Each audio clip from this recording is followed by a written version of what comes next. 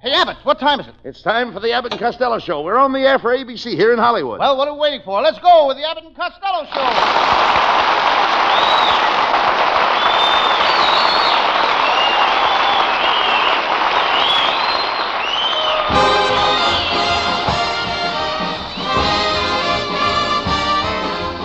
Yes, it's the Abbott and Costello Show, produced and transcribed in Hollywood for your listening and laughing pleasure, with chuckles with a carload and music by Matty Malneck. So hold on to your chairs, folks, for here they are Bud Abbott and Lou Costello.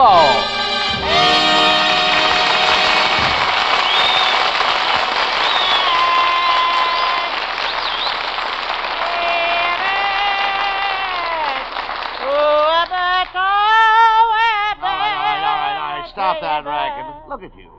Huh? Look at yourself. Bags under your eyes. What happened? I didn't get a wink of sleep last night. Uh, why not? Well, I made a mistake. In the dark, I plugged my electric blanket into the automatic record changer, and all night long it kept flipping me over and playing my other side. Talk sense. Why don't you get out and get yourself a job? I'm going, Abbott. I'm going to get a real job. The honest sweat of toil is the greatest reward of a real man. Work is the backbone of the American people. The only thing that matters is earnest toil and the knowledge and the satisfaction of a job well done. Why, that's wonderful, Costello. Where did you read that? On the wall of the unemployment office while I was waiting for my check.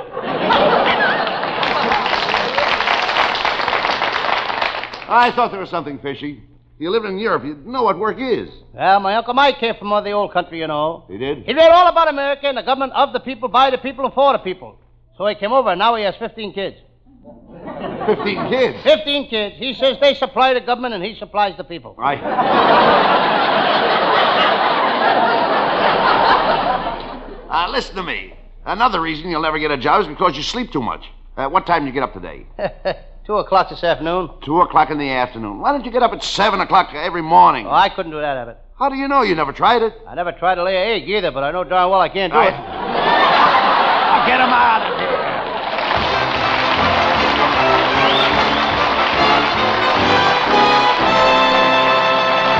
Before the boys get any further involved in nonsense, here's a thought that makes good sense.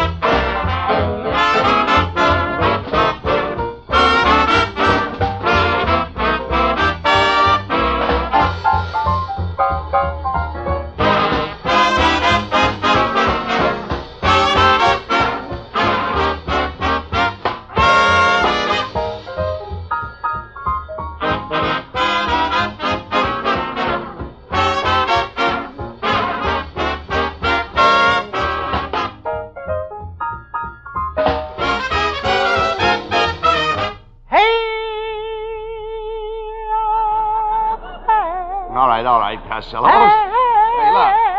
Lou. Oh, what was all the noise and yelling over at your house last night? Well, it was my Aunt May's birthday party, and all our relatives were there. Well, uh, how old is your Aunt May? Well, I don't know exactly, Abbott, but there were so many candles on the cake they had a forest ranger standing by. Did you have fun? Oh, did I have fun? We played all kinds of games. And about 4 o'clock in the morning, I suggested we play Indians and burn somebody at the stake. I'll bet that was exciting. Everybody laughed, but we're sure going to miss Uncle Tom. I- was all your family at the party, Lou? Well, uh, even my Uncle Jim Kelly. You know, we haven't seen him for years. He's a sailor on the SSSSSSSS SSSSSSSS Santa Monica. What's all the S's for? The boat has a slow leak. I...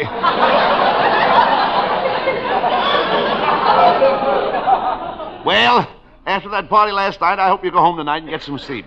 You look terrible. Thank you. I really know that. And I don't expect to get any sleep tonight, Abbott. Why? You know that Flanagan girl from Paterson? Yes. Ha ha.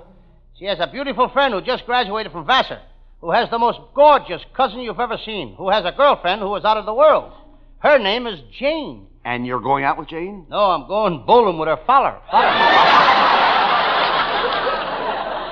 Is this girl Jane really pretty, Lou? Ah, she really pretty, Abbott. She's beautiful. Uh, do you think you can get any place with her? Ah, do I think? Listen to this. While the party was on, we sneaked out onto the patio. It was pitch dark. Yes. We sat there on a bench, and I kind of shifted over towards her, and she kind of slid over towards me until we were real, real close together. yes. Then it happened. What? She held her arm right close to my ear and let me listen to her wristwatch. That.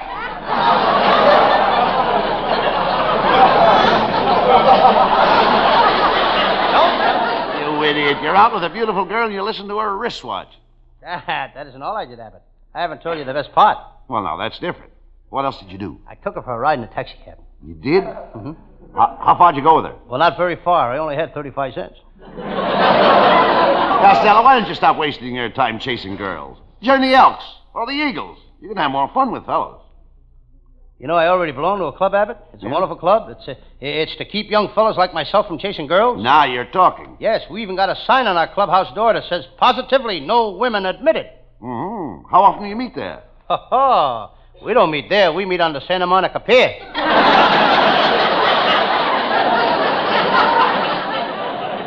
Just how do you explain your great love for women? Lou? Maybe it's because I was born twins. You know, Abbott, I had a twin sister. Oh, I didn't know that, Costello. Oh, sure. Here's a picture of me and my sister when we were six months old. Say, let me see that. You were identical twins. Sure. Which one is you? I'm the one with the Tony. Tony.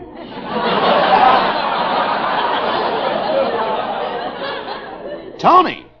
Why, you're both bald headed. Abbott, you're holding the picture upside down.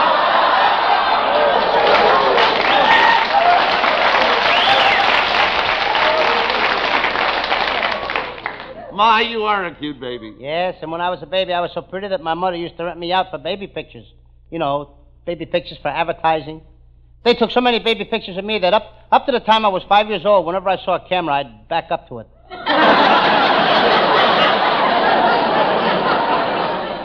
Costello, you really were a tiny baby. Yeah, when I was born, I only weighed four pounds. Four pounds? Four pounds. How did you live?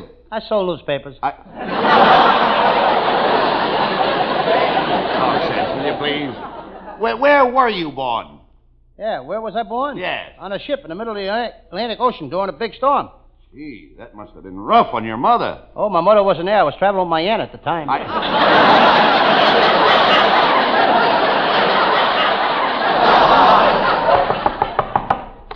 Uh, Mr. Costello, I heard you were looking for a job, and we need a bright looking young fellow like you to sell our new beauty soap. Hey, now that sounds interesting, Costello. Is it uh, good beauty soap? Good.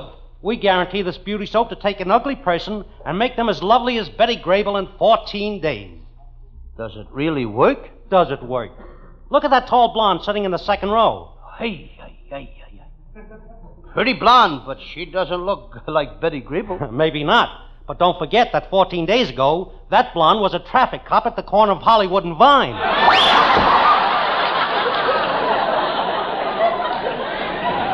Abbott, you gotta get your relatives off this show.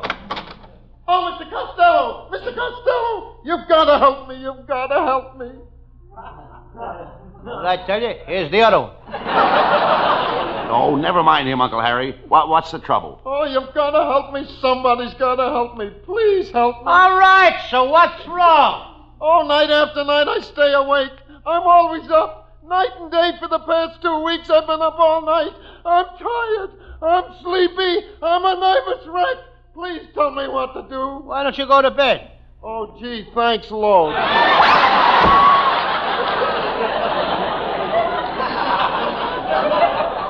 Abbott, I'd like to take your uncle over to the ostrich farm next Sunday. What for? I want to show the ostriches how to lay those big ones.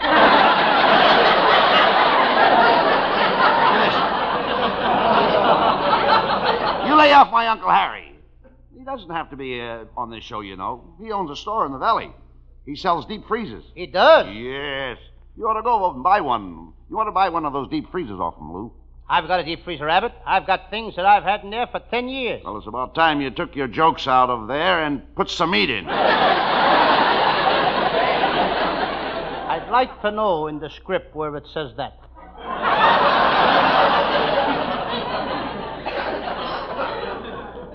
Abbott, you better be careful. It's stuff like that that split up Durante and Moore. Hello, boys. Hello, Veola Vonn. Well, well, boys, what are you? That's Excuse her. me, that's you.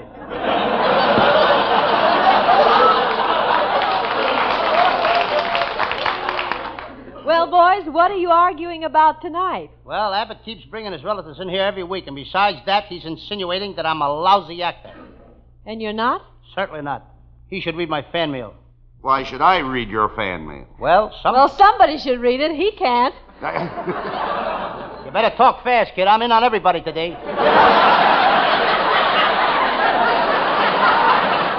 Uh, uh, uh, Costello, watch yourself. You know how nervous you get around girls. Uh, you've been having trouble with your nerves, Costello? You betcha. And how? I've been taking vitamins. I take vitamin B for my nerves, vitamin C for my skin, vitamin D for my bones, and vitamin A so I can see at night. Why do you have to see at night? So I can find a bottle of the vitamins A, B, and C, and D.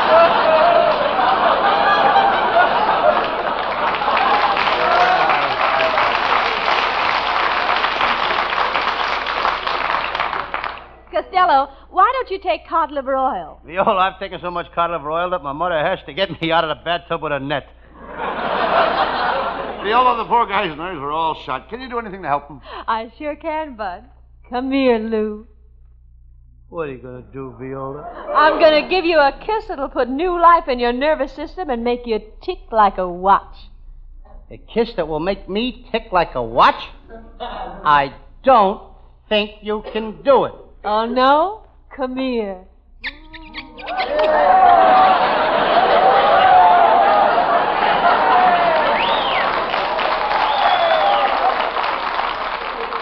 Costello! Costello!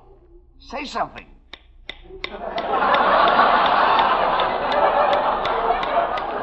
When you hear the tone, the time will be 7.15 and one quarter.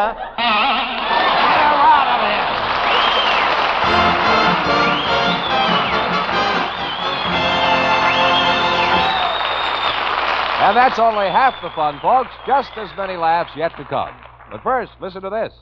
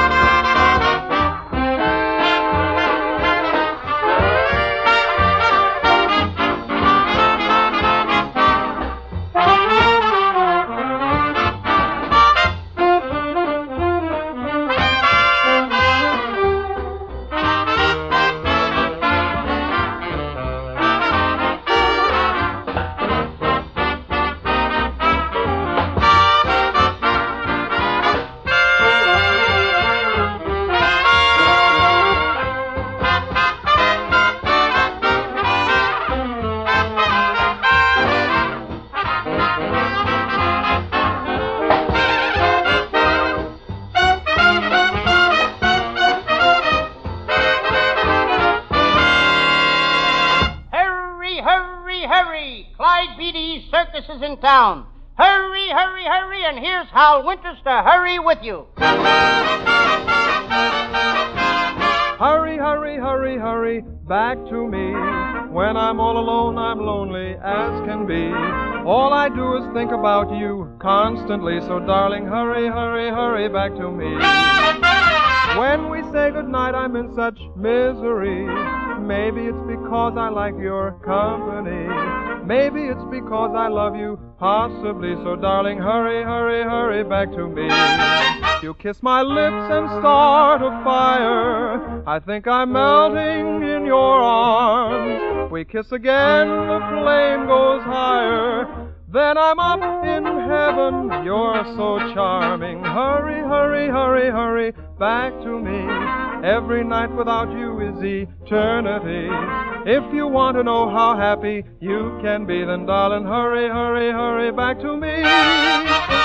Don't stay away so long, darling, how I yearn. I sing this little song, hoping you'll return, dear. Hurry, hurry, hurry, hurry back to me. When I'm all alone, I'm lonely as can be.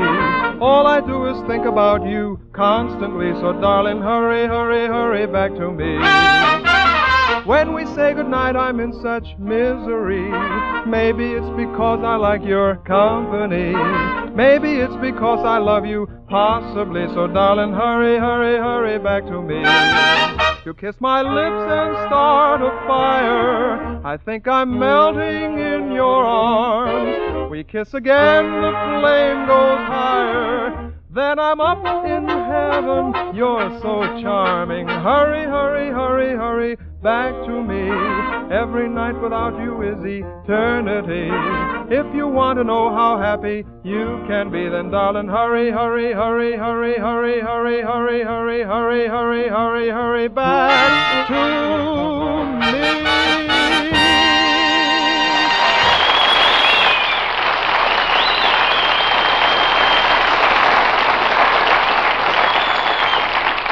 Well, Costello, tomorrow's April Fool's Day. I suppose you're getting ready to play jokes on all your friends? Oh, I started that yesterday, Abbott. Last night I played an April Fool's joke on my brother Pat. I sneaked up behind him, put a giant firecracker in his pocket, tied a Roman candle to his belt, and then I placed a rocket bomb under his chair and, and lit them all at once.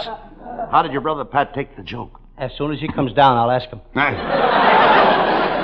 I think April Fool jokes are kind of silly, Lou. Yes, especially the one my Aunt Alma, Alma pulled on my Uncle Tom. She put cleaning fluid in his coffee, ant paste on his toast, and then she sprinkled camphor flakes on his cereal. Did Uncle Tom think it was funny? He must have. The ambulance driver said he'd, he died with a smile on his face. Uh, did you pull any other jokes on your family, Lou? Oh, sure. Last night I crossed the wires on our garbage disposal with the wires on a television set. Then I plugged it in. What happened? Arthur Godfrey was ground to bits, and we got the only garbage with an 86 point Hooper rating. Well, that's that's a higher rating than you've got on your uh, Sam Shovel Detective series, Lou. That's a lie. No, no. My Sam Shovel detective business is growing all the time. I got my operators spying all over the country. You've got men spying all over the country? Sure, I got one guy spying in Washington, one in Paris, one in London, one in Paterson, New Jersey. I got one in Hedy Lamarr's dressing room. Oh, wait a minute. Why have you got a guy spying in Hedy Lamarr's dressing room for? Oh, he's on vacation. He's... Will you talk sense? What is your Sam Shovel case? Ah, it's a very interesting case, Abbott. I call it the case of the gorgeous blonde model who fell into a vat of whiskey at the distillery, or there's good booze tonight.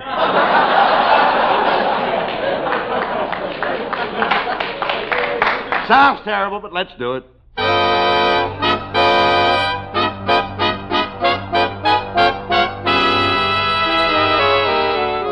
Yes, I'm. Sam Shovel, private detective. As I open the door to my office, I suspect foul play. There's my secretary lying on the floor with a gag in her mouth. Hi, Sam. Who was that lady I saw you with last night? She got the gag out. Better she should have left it in. What has been going on here, Miss Blue? Oh, Mr. Shovel, two guys broke in here and stole your safe, your filing cabinets, and your petty cash box. Anything else? That's all I can think of. Well, I'll sit down and get to work. Oh, yes, they also took your chair. Suddenly I heard a noise in my office. The door was creaking open. I whip out my gun. All right, whoever it is, I'm warning you. One false move and you're a dead duck.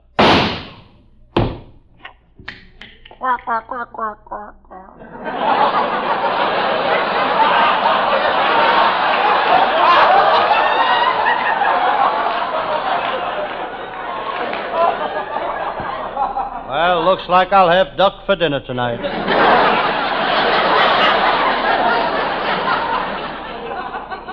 That's the trouble with this detective business. You never know who will drop into your office.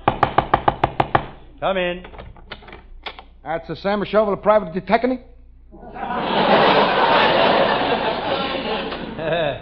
I'm Sam Shovel, private detective. detective. Who might My you be? My name is Giuseppe Pasticiccio. I got a bigger trouble under my life, Sam. I need your help. You see, I work all day for the Sander Hog. You see, that's the people make the subway. Mm-hmm. I work hard all day. I come home at night. I told my wife at dinner she's got to be on the table at 6 o'clock.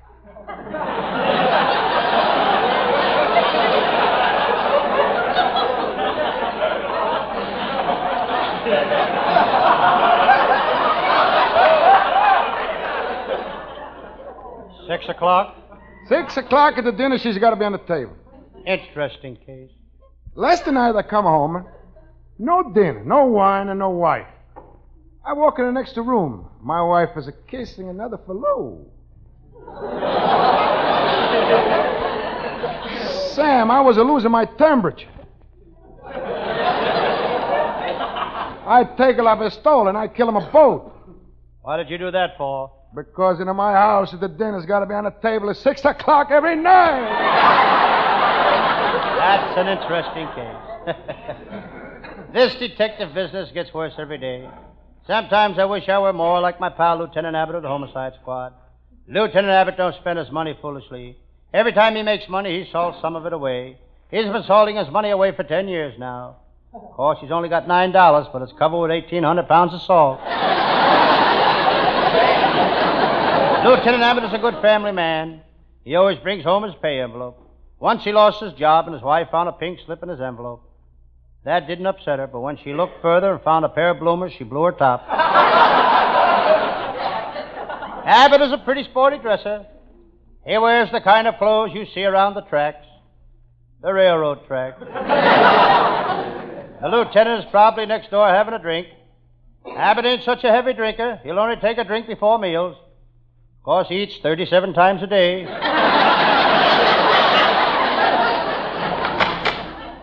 Hello, Sam. It's my pal, Lieutenant Abbott. You look tired, Lieutenant. What's the trouble? That's my wife, Sam. We've been I fighting see. for two weeks. Dinner has to be on the table at six, o'clock. Six o'clock. Oh, no, Sam. She don't appreciate me. She don't know how lucky she is. Why, when I married her, she didn't have a rag on her back. Now look at her. You're right. Now she's got rags all over. Sam, you're going to have to move your office. The city is going to use that lot across the street for a garbage dump. Yes, I know. I got wind of it this morning. this neighborhood is getting tougher all the time. This morning I saw a guy in front of this building stepping on a cigar butt What's tough about that? Lots of men step on cigar butts. while they're still in the man's mouth.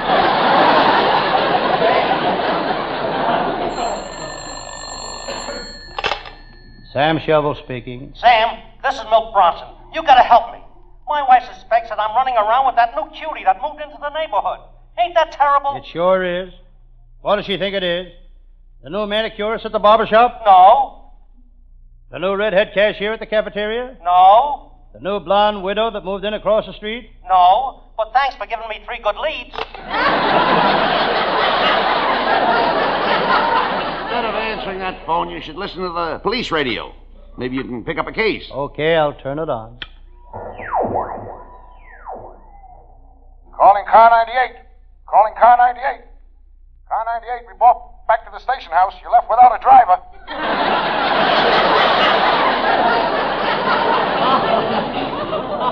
Shut that thing off.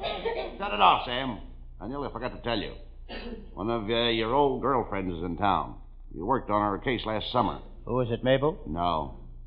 Was it Gladys? No. Helen? No. Try Shirley. Shirley? Wrong again. Uh. it's Ingrid, the international spy. Sam, I want you to help me capture her. Nothing doing, Lieutenant. Ingrid is dangerous. My brother Pat was out with her last night and she cut off one of his ears. Just a minute, Sam. I saw your brother Pat this morning. He's got two ears. Yes. Now he has. Sam, you're a coward. Just get it, eh? Sam, you're a coward. You're afraid of Ingrid. no, I ain't, but I just ain't in shape. You know I got a cold. But I told you to go home last night and soak your feet in hot water. Did you do it? Yes? Well, don't your feet feel better? Yes, I feel all right, but my shoes are awful soggy. Enough of this nonsense. Sam Shovel, you're going to help me capture Ingrid, the international spy. Come on.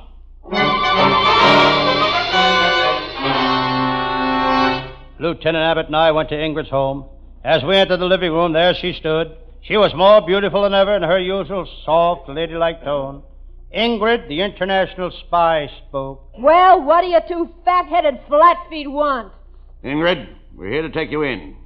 You're through being an international spy. From now on, you can spy for Warner Brothers.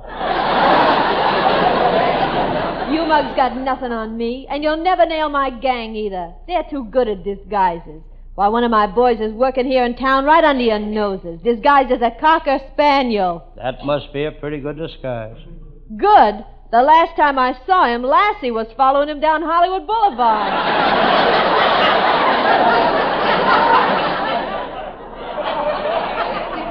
Sam, you gotta get on the right side of her. We need those secret papers. Now go ahead and play up to her. Okay, watch this technique. Go ahead. Ingrid, you're beautiful. Come to my arms. Ah, Sam. When you talk like that, I can't resist you. Lean close to me. Sugar zero. Sugar zero. Sam, what are you Sugar doing? zero. Sam, what are you doing? I'm whispering sweet nothings in her ear.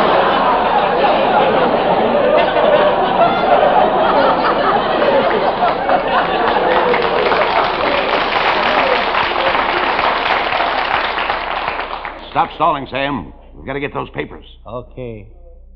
I'll give her one of my special kisses. Ingrid, I'm going to give you a kiss that you'll feel from the top of your head to the tip of your toes. How do you do that, Sam? While I'm kissing you, I stand on your feet and hit you on the head with a hammer. Sam, we're going to get those plans. You have to marry her to do it. Okay, Sam, I'll marry you. You will? Yeah, but there's something I gotta tell you first, Sam. What is it, Ingrid? I've been married four times already. Well, that ain't so much. In the last month? I've heard enough. Ingrid, you're under arrest. Not so fast, copper. You came here for the stolen plans, didn't you? Okay, here they are. Take 'em, Sam. Thanks, Ingrid. Lieutenant, look. These are the plans of the Los Angeles police have been looking for all year. The most important plans of all. What are they? The plans for starting a pyramid club. Get them out of here! Okay.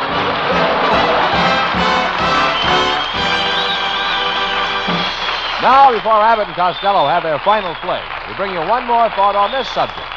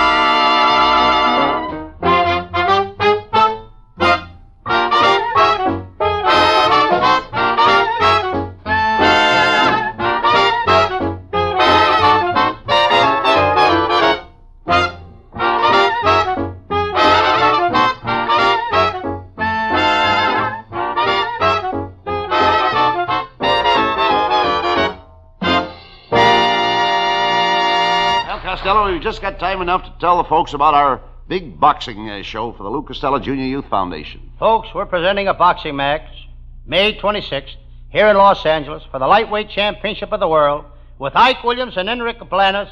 And if you're headed out this way, don't miss this title fight. You'll be getting the thrill of a lifetime and helping a very worthy cause. Be sure to listen to the Abbott and Costello show next Thursday. Our writing staff is headed by Eddie Forman with Paul Conlon, Pat Costello, Martin Ragaway, and Len Stern. And our producer is Charles Vanda. Good night, folks. Good night to everybody in Paterson. Good night.